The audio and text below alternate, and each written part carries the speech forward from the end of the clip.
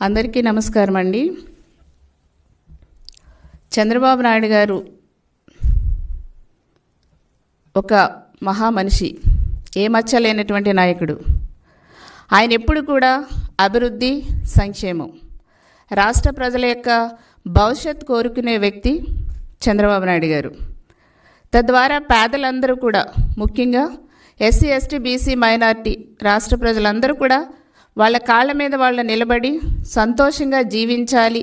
ప్రేమ ఆప్యాయతలతో చక్కగా కుటుంబం చల్లగా ఉండాలని ఎప్పుడూ కూడా ఆకాంక్షించే వ్యక్తి చంద్రబాబు నాయుడు గారు. సో అట్లాంటి వ్యక్తిని ఈ రోజున మీరు కక్షపూరితంగా కుట్రమైన కుట్రలతో ఒక దుర్మార్గపు ఆలోచనలతో అక్రమ కేసులు పెట్టి ఏ నేరము చేయనటువంటి వ్యక్తిని రిమాండ్కి తరలించారు. మీరు తరలించడమే కాకుండా ఈ రోజున జగన్మోహన్ రెడ్డి గారి దగ్గర నుంచి వాళ్ళ మంత్రుల వరకు కూడా ఇష్టానుసారంగా వాళ్ళ నోటికి ఏదొస్తే అది మాట్లాడుతున్నారు. వాటిని తీవ్రంగా ఖండిస్తున్నాం. డిప్యూటీ సీఎంస్ దగ్గర నుంచి ఈ రోజున అంబటి రాంబాబు వరకు కూడా వాళ్ళకి అసలు నోటికి అద్దు అదుపు లేకుండానే మాట్లాడుతున్నారు. మరి ఆ రోజు ఓదార్పు యాత్ర ఎందుకు చేశారు రాంబాబు గారు? జగన్మోహన్ రెడ్డి గారు విజయలక్ష్మి గారు ఎందుకు ఓదార్పు యాత్ర చేశారు? అంటే అంటే ఎందుకు చేశారు? వైఎస్ఆర్ గారి కోసం చనిపోయిన ఆగిపోయిన గుండెలు అనేసి ఆ రోజు ఓదార్పు యాత్ర చేశారు కదా? అంటే ఏమనుకోవాలి? మీరు ఈరోజు ప్రెస్ మీట్లో మాట్లాడిన విషయాలను కనుక ఒకసారి గమనిస్తే ఆ రోజు ఓదార్పు యాత్ర యాత్ర అనేది ఒక మోసపు యాత్ర అనుకోవాలా? వైఎస్ఆర్ కోసం చనిపోయినటువంటి గుండెలు చనిపోలేదా నిజంగా? మీరు అబద్ధం చెప్పారా ప్రజలకి?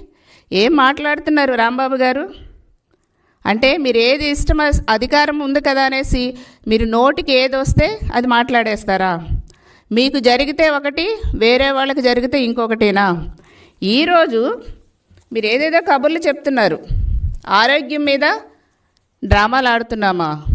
సింపతి గైన్ చేయాలనేసి చూస్తున్నామా? ఏమా అసలు నోరేనా అది? ఎవరు సింపతి క్రియేట్ చేసుకోవాలని చూసింది? ఎవరు? సింపతి కోసం పాకులాడింది మీరు కదా? మీ ప్రజాప్రతినిధులే కదా? మీ ఎంపీ అవినాష్ రెడ్డి సిబిఐ అరెస్ట్ని అరెస్ట్ నుంచి తప్పించుకోవటానికి తల్లి ఆరోగ్యాన్ని పక్కన పె తల్లి ఆరోగ్యాన్ని పనంగా పెట్టి అవినాష్ రెడ్డి కదా డ్రామాలు ఆడింది ఎవరు డ్రామాలు ఆడింది రాంబాబు గారు? మీ ఎంపీ అవినాష్ రెడ్డి. జగన్ రెడ్డి గారు అవినాష్ రెడ్డితో డ్రామాలు ఆడిపించలేదా తల్లి ఆరోగ్యం బాగాలేదనేసి ఆయన ఆవిడ ఆరోగ్యాన్ని పనంగా పెట్టి? మర్చిపోయారా? మరి ఈ రోజున వైఎస్ సుబ్బారెడ్డి గారు మరి జైలు తప్పించుకోవటం కోసం బెయిల్ మీద తిరుగుతున్నారు కదా? తప్పులు ఎవరు చేశారు? మీరు పైపెచ్చు నాటకాలు ఆడుతూ మమ్మల్ని నాటకాలు ఆడుతున్నారని చెప్తారా? మేము డ్రామాలు ఆడుతున్నామని చెప్తారా? ఈరోజు డెబ్బై నాలుగు సంవత్సరాల వయసులో ఎప్పుడు కూడా ప్రజల కోసం కష్టపడే వ్యక్తిని ఏ ఆధారాలు లేకుండా నిరాధారమైనటువంటి ఆరోపణలు చేసి మీరు రిమాండ్కి తరలించారు. మీ కక్ష తీర్చుకుంటున్నారు. మీరు పదహారు నెలలు జైల్లో ఉన్నారు కాబట్టి జగన్మోహన్ రెడ్డి గారు చంద్రబాబు నాయుడు గారిని కూడా అక్రమంగా అరెస్ట్ చేసి పంపాలనుకున్నారు. పైశాచిక ఆనందం పొందారు మీరందరూ. చాలా పండగలు చేసుకున్నారు. కానీ మీకు అందరికీ ముందుంది ముసళ్ళ పండుగ. కానీ ఈ రోజున ఇంకా దుర్మార్గంగా దిగజారిపోయి మీరు అలా మాట్లాడటానికి మీకు నోరు ఎలా వస్తుంది అసలు? ఈరోజు మళ్ళీ ఇంకొకటి అంటాడు ఇంకొక మాట అంటున్నాడు రాంబాబు గారు. భవిష్యత్తు గురించి మాట్లాడతావా? భవిష్యత్తు గ్యారంటీ గురించి మాట్లాడతావా? మీకు అసలు భవిష్యత్ అనేదే ఉండదు రాబోయే రోజుల్లో. ప్రజల నుంచి తీవ్ర వ్యతిరేకత వస్తుందనే ఉద్దేశంతోనే కదా ఈ రోజున చంద్రబాబు నాయుడు గారి మీద అక్రమ కేసు పెట్టారు. లేకపోతే చంద్రబాబు నాయుడు గారు అంటే భయం ఎందుకు మీకు? ఎందుకు అరెస్ట్ చేశారు? ఎందుకు జైల్లో పెట్టించారు? దేవత లాంటి భువనమ్మ మీద టార్గెట్ చేశారు? అసెంబ్లీలో టార్గెట్ చేశారు? అక్కడ మహిళలు కూడా సిగ్గు లేకుండా ఒక మహిళను అవమానిస్తే పళ్ళిగిలిచ్చి నవ్వారు చప్పళ్ళు కొట్టారు. ఎందుకు టార్గెట్ చేశారు? మీకు టీడీపీ అన్నా చంద్రబాబు నాయుడు గారన్నా వాళ్ళ కుటుంబ సభ్యులన్నా లోకేష్ బాబు గారన్నా మీకు భయమనే కదా? మీకు భవిష్యత్తు ఉండదనే కదా? వాళ్ళని మానసికంగా దెబ్బతీయాలనే కదా? మీరు ఇవన్నీ కూడా టార్గెట్ చేస్తున్నారు. బ్రాహ్మణి గారిని కూడా వదలలేదు. దేవాంశ్ గారిని కూడా మీరు వదలట్లేదు. ఇవన్నీ ఎందుకు చేస్తున్నారు? మీకు భవిష్యత్తు లేదు. ఉండేలాగా చెయ్యటం లేదు ప్రజలు రాబోయే రోజుల్లో అనేది మీకు అర్థమైంది. అందుకోసమే మానసికంగా దెబ్బతీయాలనేసి మీరు ఇష్టం వచ్చినట్టు మీ సీఎం గారి దగ్గర నుంచి మీ మంత్రులందరూ కూడా కారుకూతలు కూస్తున్నారు.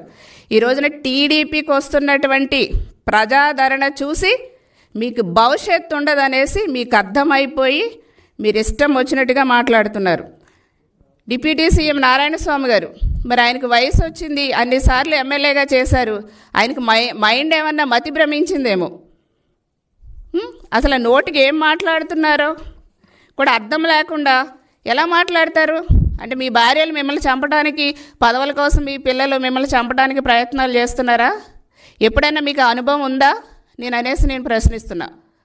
ఈ మంత్రులందరినీ కూడా ఒకసారి ప్రశ్నిస్తున్నా. భువనమ్మ ఏదో కలిపేసి పెట్టేస్తున్నారు లేకపోతే ఏదో లబ్ధి కోసం చేస్తున్నారు అనేసి ఈ డిప్యూటీ సీఎంలు మంత్రులు మాట్లాడుతున్నారు కదా వాళ్ళని ప్రశ్నిస్తున్నాను నేను. మీ గతంలో మీకు అనుభవం ఉందా? మిమ్మల్ని పదవుల నుంచి దించడానికి మీ భార్యలు మీ పిల్లలు అలాంటి ప్రయోగాలు చేశారా? అందుకోసమే ఆ భయంతోనే అందరు కూడా అలా చేస్తారనేసి మీరు అనుకుంటున్నారా? వయసు వచ్చింది ఇది లేదా? ఏం మాట్లాడుతున్నారు? ఈ రోజున రిమాండ్లో ఉన్నటువంటి మా బాబు గారిని సరిగ్గా పట్టించుకోవట్లేదు సరైనటువంటి భద్రత ఇవ్వటం లేదు. ఆ వయసులో ఆయనకి ఆరోగ్యపరంగా తీసుకోవాల్సినటువంటి ప్రికాషన్స్ ఏది కూడా ప్రభుత్వం తీసుకోవట్లేదు జైలాధికారులు తీసుకోవట్లేదు అనేసి మా భువనమ్మ గారు లోకేష్ బాబు గారు మా నాయకులమందరం కూడా మేమేమో అడుగుతుంటే మాకు సమాధానాలు చెప్పరు. పన్నెండవ తారీఖున టెస్టులు చేశారు. ఇప్పటి వరకు కూడా రిపోర్ట్లు బయటపెట్టలేదు. మాకేమో మాకేం కోర్టు ద్వారా అడుగుతున్నా కూడా ఇంకా ఇవ్వటం లేదు. మేము చూపించమంటాం కదా ఆ రిపోర్ట్లు అన్నీ కూడా మాకు చూపించాలి కదా పబ్లిక్గా? కుటుంబ సభ్యులకు ఇవ్వాలి కదా? ఇవ్వకుండా మీకు మీకే చదివేసి ఆ జైలధికారులు అనౌన్స్ చేసేటువంటి మేమెంతో పోరాటం చేస్తేనే తప్ప ఈ రోజున ఆ చల్లని వాతావరణం కల్పించాలి. ఆయన చాలా ఇబ్బంది పడుతున్నారు. డీహైడ్రేషన్తో చాలా బాధపడుతున్నారు. చాలా శరీరం మీద ర్యాషెస్ వచ్చేసినాయి అని కుటుంబ సభ్యుల నుంచి అందరూ కూడా ఎంతో తల్లడిల్లిపోయి ఆవేదనతో మేమందరం కూడా ఫైట్ చేస్తే కోర్టు స్పందించి చల్లని వాతావరణం కల్పించమని పర్మిషన్ ఇచ్చారు. గవర్నమెంట్ ఏం స్పందించలేదు. ఆయన్ని అక్కడ జైల్లోనే ఇబ్బంది పెట్టాలి అనేసి కక్ష కట్టింది వైసీపీ ప్రభుత్వం. ఇప్పుడు చంద్రబాబు నాయుడు గారు మానసికంగా చాలా దృఢంగా ఉంటారు. ఆయన ఇంకేం చేయలేరు మానసికంగా. కాబట్టి శారీరకంగా ఇబ్బంది పెట్టాలనేసి ఒక కుట్ర పూనారు. ఆ విధంగా మీరు ఇబ్బంది పెడుతున్నారు. మీరు ఎన్ని ఇబ్బందులు పెట్టినా మేము తట్టుకోవటానికి సిద్ధంగా ఉన్నాం. ఎందుకంటే ప్రజలకు అన్నీ కూడా అర్థమైనవి ఈ రోజున ప్రతి ఒక్కరు కూడా ఈ వయసులో ఆయన ఇంతలా ఇబ్బంది పెడుతున్నారే. పాపం కదా ఆయన ఏం తప్పు చేశారు. మన కోసం ఎప్పుడు ఆలోచించేవారే? పాపం కింద స్థాయికి కూడా ముఖ్యమంత్రి స్థాయి అయినా కూడా ప్రతి పల్లెకి కూడా వచ్చేవారు మన దగ్గరికి వచ్చేవారు. ఏమ్మా ఎలా ఉన్నామనేసి మమ్మల్ని అడిగేవారు. ప్రతి ఒక్కరిని పలకరించేవారు. ప్రతి వీధికి ప్రతి పల్లెకి ప్రతి ఏరియాకి కూడా చంద్రబాబు నాయుడు గారు వచ్చేవారు. పాపం ఆ వయసులో కూడా నడుచుకుంటూ వచ్చి మమ్మల్ని అందరినీ కూడా ఆప్యాయతంగా ఆప్యాయతగా పలకరించేవారు మా సమస్యలు తెలుసుకునేవారు. పాపం ఆయన ఏం తప్పు చేశారని? ఇన్నేళ్ళలో లేనిది ఇంత ఆ వయసులో ఆయన జైల్లో పెట్టి ఇబ్బంది పెడుతున్నారు ఈ జగన్మోహన్ రెడ్డి అనేసి. ఈ రోజున ప్రజలందరూ కూడా బాధపడే పరిస్థితి ఈ రోజున ఉంది. అట్లాంటిది నోటికి వచ్చినట్టు మీరు టాపిక్ని డైవర్ట్ చేసేసి మీ అవినీతిని కప్పిపుచ్చుకోవటం కోసం మీరు ఇష్టం వచ్చినట్టు మాట్లాడుతున్నారు. ఈ రోజున ఎవరికి అవసరం అండి? మీకే అవసరం అండి. మీకే అవసరం. మీరు బాబాయిని చంపారు మీ కుటుంబంలోనే. చంపే అలవాటు మీకుంది. ఒక దళిత యువకుణ్ణి డో చంపేసి డోర్ డెలివరీ చేసినటువంటి ఒక ఎమ్మెల్సీని పక్కన పెట్టుకుని అతనికి సపోర్ట్ చేస్తున్నటువంటి మీరు జగన్మోహన్ రెడ్డి గారు మీరు సిగ్గుపడాలి. ఈ రోజున ఎంత దుర్మార్గంగా ఒక వ్యక్తిని చంపేస్తే ఆ హంతకులు మీ చుట్టూరు తిప్పుకుంటున్నారు. వాళ్ళు జైల్లో ఉన్నప్పుడు రాజీ ఎన్నో సకల సౌకర్యాలు కల్పించారు. ఈ రోజున మాకు అడిగేసరికి మాకు సరైనటువంటి సౌకర్యాలు కల్పించడం లేదు. మళ్ళా నిన్నటి నుంచి కొత్తగా రూల్ తీసుకొచ్చారు. ములాఖాతులు కూడా తగ్గించేసేది. అంటే మీరు ఎంత రోజు రోజుకి ఎంతగా దిగజారిపోతున్నారో జగన్మోహన్ రెడ్డి గారు. చంద్రబాబు నాయుడు గారిని ఇబ్బంది పెట్టాలి కుటుంబ సభ్యులను ఇబ్బంది పెట్టాలి టీడీపీని ఇబ్బంది పెట్టాలనే ఉద్దేశంతో రోజు రోజుకి కూడా మీరు నిజంగానే ఒక సైకోలాగా రోజు రోజుకి కూడా మీరు దిగజారిపోతున్నారు. ఇంకా అదే సైకో అని ఎందుకు అంటున్నారో ఇప్పుడు అర్థమవుతుంది ప్రజలకందరికీ కూడా. ఈరోజు ములాఖాతులు కూడా తగ్గించేసి మమ్మల్ని ఇబ్బంది పెట్టాలని బీసీలందరూ కూడా వెళ్ళి మా భువనమ్మని కలిసి సంఘీభావం చెప్పడానికి వెళ్తుంటే అందరినీ కూడా అక్రమ అరెస్టులు చేశారు. అంటే మీకు ఒక భయం. మీకు ఒక భయం ఏర్పడిపోయింది. ఈ రోజున ప్రజలందరూ కూడా వైసీపీకి వ్యతిరేకంగా అయిపోయారు. చంద్రబాబు నాయుడు గారికి బాగా సపోర్ట్గా ఉన్నారు. జగన్మోహన్ రెడ్డి చేసింది తప్పు తప్పు తప్పు అనేసి ఈ రోజున ప్రజలందరూ కూడా తెలుగు వారందరూ కూడా ముక్త కంఠంతో చెప్తూ సపోర్ట్ చేస్తూ బయటకు వస్తున్నారు కాబట్టి మీకు గుండెల్లో దడ పట్టుకుంది. అందుకోసం జగన్మోహన్ రెడ్డి గారు మాట్లాడటమే కాకుండా వాళ్ళ మంత్రులతో కూడా ఏం మాట్లాడిస్తున్నారో అర్థం కాకుండా మాట్లాడుతున్నారు. ఈ రోజునండి ఏ ఆధారాలు లేవు. నిరాధారమైనటువంటి ఆరోపణలు చేశారు చంద్రబాబు నాయుడు గారి మీద. వాళ్ళ ఫ్యామిలీకి సంబంధించినటువంటి అకౌంట్స్లో ఒక్క రూపాయి కూడా పడినట్టు ఆధారాలు లేవు. ఈ రోజున జగన్మోహన్ రెడ్డి గారు ముప్పై ఎనిమిది కేసులు ఉన్నాయి. నలభై మూడు వేల కోట్ల రూపాయలు సి సిబిఐ గుర్తించింది. కాబట్టి మీరు జైలుకి వెళ్ళారు జగన్మోహన్ రెడ్డి గారు. పదమూడు ఛార్జ్ షీట్లు వేశారు మీ మీద. నలభై మూడు వేల కోట్లు సిబిఐ గుర్తించింది సిబిఐ ఈడీ అటాచ్ చేసింది. ముప్పై ఎనిమిది కేసులు ఉన్నాయి మీరు మీ మీద. ఈరోజు చంద్రబాబు నాయుడు గారి మీద ఏ ఏ ఆధారం ఉందండి? ఒక్క ఆధారమైనా చూపించగలిగారా? లేదు. కక్షపూరితంగా మీరు అరెస్ట్ చేశారు జగన్మోహన్ రెడ్డి గారు. అరెస్ట్ చేయించారు. పై పై పై మీరు ఏమంటున్నారంటే అరెస్ట్ చేసిన టైంలో నేను లేను లండన్లో ఉన్నాను. అన్ని ఏర్పాట్లు చేసేసి సిఐడి వీళ్ళందరూ ఎవరి కంట్రోల్లో పనిచేస్తారండి? ఏసీబీ సిఐడి సీఎం కంట్రోల్లోనే కదా? అని మీరు లండన్లో ఉన్నారో తెలియదంటే ప్రజలు నమ్మేటకి ఏమైనా వేరే వాళ్ళ పిచ్చి వాళ్ళు అనుకుంటున్నారా? ఒక్క ఛాన్స్ పేరుతో పిచ్చి వాళ్ళని చేశారు ఆనాడు రెండు వేల పంతొమ్మిది ఎలక్షన్లో.